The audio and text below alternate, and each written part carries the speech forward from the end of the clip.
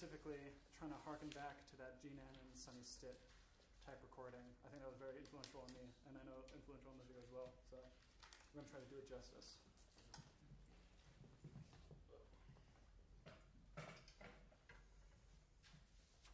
Mm-hmm.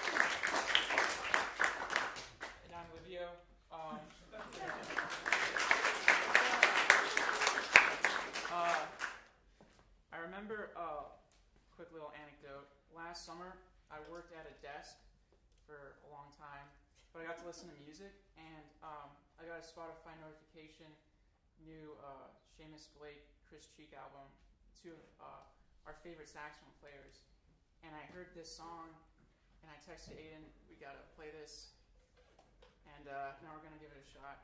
This is uh, Choro Blanco by Seamus Blake.